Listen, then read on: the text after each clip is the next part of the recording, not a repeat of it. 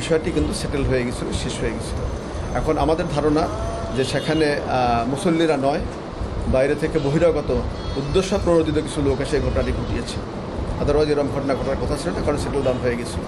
এখন বিষয়টি নিয়ে আমরা তদন্ত করছি। আপনারা দেখছেন বিভাগ কমিশনার মহোদয় এসছেন, ডিসি সাহেব আসছেন, এসপি সাহেব সবাই আসছেন আমরা এটা নিয়ে তদন্ত করব। তদন্ত তদন্ত অলরেডি চলমান।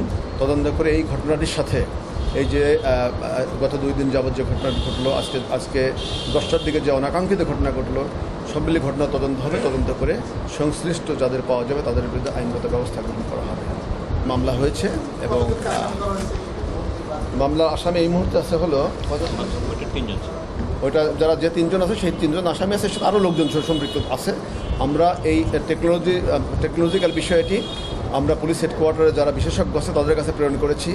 তারা ফেসবুক কর্তৃপক্ষের সাথে যোগাযোগ করছে এবং এর সাথে এই ঘটনার সাথে সম্পৃক্ত যাদেরকে আমরা পাব, একেবারে সাইন্টিফিক্যালি প্রমাণিত হবে আশা করছি যে কে জড়িত বা কারা জড়িত, তাদের বিরুদ্ধে কিন্তু একেবারে সর্বোচ্চ শাস্তিমূলক ব্যবস্থা পুলিশের পক্ষ থেকে যা নেওয়ার আমরা নেব। তদন্ত করে তাদের বিরুদ্ধে ব্যবস্থা